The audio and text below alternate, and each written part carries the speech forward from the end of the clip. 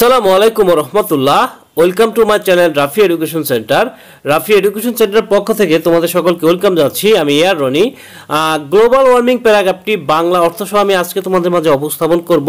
তো এটা পিডিএফ ফাইলটা ভিডিও ডিসক্রিপশনে দিয়ে দেবো। ওটা থেকে তুমি ওইটা, ওই লিঙ্ক থেকে তুমি এটা ডাউনলোড করে নেবে। ঠিক আছে? এতে তোমার পড়ার জন্য সুবিধার্থ হবে তুমি ইচ্ছা করলে এটা ফটো কপি দোকান থেকে গিয়ে ওটা তুমি কপি একটা ফটোকপি করে নিতে পারো, তাহলে আরও ভালো হয় তোমার জন্য।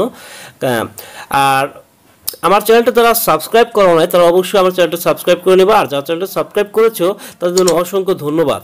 হ্যাঁ? তো আজকের আলোচনার বিষয় হচ্ছে গ্লোবাল ওয়ার্মিং প্যারাগ্রাফটি তো এটা এসএসসি এইচএসসি সকল স্টুডেন্টের জন্য খুবই গুরুত্বপূর্ণ একটা প্যারাগ্রাফ তো global warming means increasing temperature on earth অর্থাৎ গ্লোবাল মানে কি? বিশ্ব উষ আহ, আহ, বিশ্ব উষ্ণতা বলতে বোঝায় তাপমাত্রা বেড়ে যাওয়া পৃথিবীতে। পৃথিবীতে তাপমাত্রা বেড়ে যাওয়াকে বিশ্ব উষ্ণতা বলা হয়। It is a serious problem এটা একটা মারাত্মক সমস্যা। It is increasing day by day এটা দিনে দিনে বেড়ে যাচ্ছে। The world is becoming hotter day by day অর্থাৎ পৃথিবী কি হচ্ছে?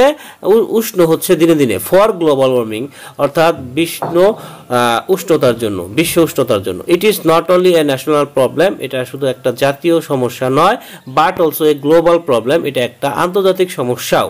It creates other problems too এটা অন্যান্য সমস্যারও সৃষ্টি করে থাকে। এভরিবডি নোস প্রত্যেকে জানে it is a serious problem এটা একটা মারাত্মক সমস্যা but none come forward to solve it কিন্তু কেউ এটা সমাধানে এগিয়ে আসে না। We are responsible for this problem আমরা এই সমস্যাটার জন্য দায়ী। We are cutting down trees randomly আমরা মাত্রাতিরিক্ত হারে গাছ কেটে ফেলছি। We cut down trees but never think to plant trees আমরা গাছ কাটছি, কিন্তু কখনো গাছ লাগানোর চেষ্টা করতেছি না, গাছ রোপণ করার চেষ্টা করতেছি না, চিন্তা করতেছি না। Many people cut down trees অনেকেই গাছ কেটে ফেলছে ফর দেয়ার লিভলিহুড তাদের জীবিকার জন্য। As a result forest land area is shrinking এর ফলে বনভূমি সংকীর্ণ হয়ে আসছে। Global warming is happen for deforestation বিশ্ব উষ্ণতা ঘটে থাকে বন উজাড়ের জন্য। Global warming brings about other problems too global warming ডেকে আনে অন্যান্য সমস্যাগুলো। It causes green house effects এটা গ্রিন হাউস প্রতিক্রিয়তা সৃষ্টি করে বা ঘটায়।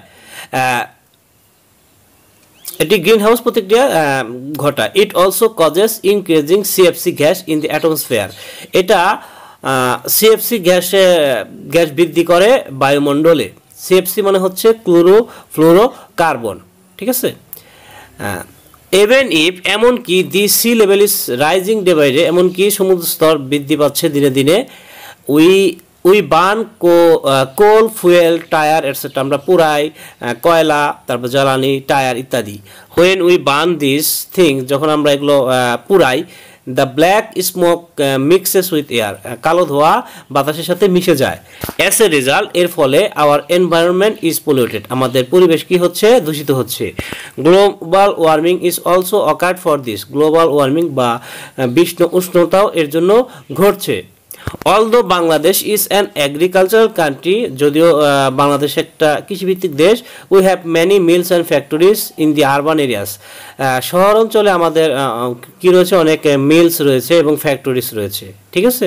মিলস এবং ফ্যাক্টরি রয়েছে। এভরিডে প্রতিদিন মিলস অ্যান্ড ফ্যাক্টরিজ প্রতিদিন মিলস এবং ফ্যাক্টরিজ ডিসচার্জ ব্ল্যাক স্মোক নির্গমিত করে কালো ধোয়া। নির্গমিত করে কালো ধোয়া। Their waste materials are mixed with our rivers water এইসবের এই যে যে বজ্র পদার্থ সেগুলো মিশছে কোথায় মিশে যাচ্ছে? আমাদের নদীর পানিতে মিশে যাচ্ছে। This materials are also mixed with our soil এইসব ম্যাটেরিয়ালস মাটির সাথেও মিশে যাচ্ছে। দে আর ব্যাডলি স্মেল তারা এরা কি করছে? দুর্গন্ধ ছড়াচ্ছে। দে পোলিউট আওয়ার এনভায়রনমেন্ট তারা আমাদের পরিবেশকে দূষিত করছে। So global warming is happening তাই বিশ্ব উষ্ণতা ঘটে যাচ্ছে। If global warming is going on continuously যদি বিশ- বিশ্ব উষ্ণতা এভাবে চলতেই থাকে we will be unable to control it আমরা এটা এটা নিয়ন্ত্রণ করতে ব্যর্থ হব। So we have to stop it তাই আমাদের এটা কি বন্ধ করতে হবে? তাই না? তো এই যে এটা প্যারাগ্রাফটা অত্যন্ত সহজ ভাষা আমি তোমার মাঝে উপস্থাপন করলাম। তো আশা করি তুমি বেশ বিষয়টা বুঝতে পারছ।